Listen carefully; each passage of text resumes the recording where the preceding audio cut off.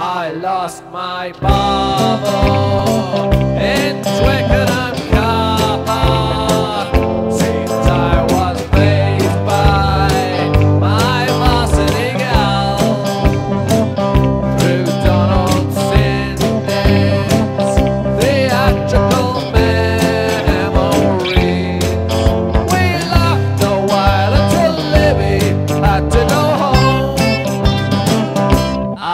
left my Chomsky at the